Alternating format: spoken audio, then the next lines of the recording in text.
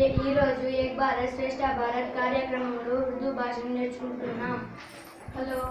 आदाब what is your name आपका नाम क्या है माय नेम इज प्रियदर्शनी मेरा नाम शमशुद है हाउ आर यू आप कैसे हैं आई एम फाइन माय